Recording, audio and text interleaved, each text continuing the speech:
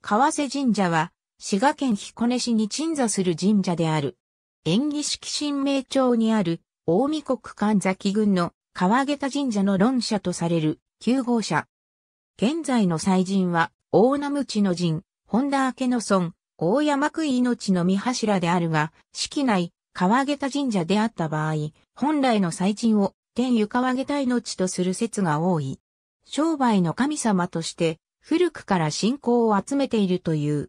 創始年代は不詳であるが、江戸時代までは川桁神社、桁の宮、桁大明神と称されていた。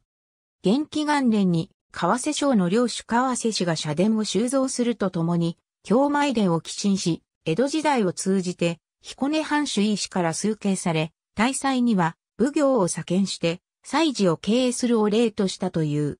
また、滋賀県教育課編、神社由書記によると、遠方3年2月に、川瀬荘の旧領主であった、川瀬域守とその孫の川瀬隼人生がい、殿神を勘定して再興したという。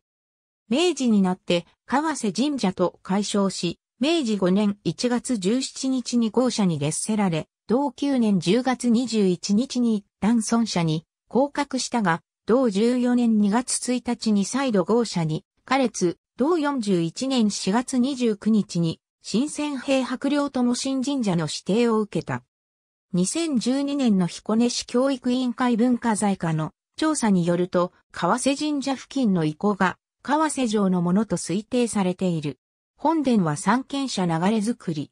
源氏元年に京都府京都市にある鴨和慶和地の神社の社殿を移築したものである。他に、入母屋造りの拝殿や神楽殿等がある。五十郎派神社、八幡社、若松神社、八大神社、天寧神社、神の木神社、辻中神社、天満宮社、天満神社。ありがとうございます。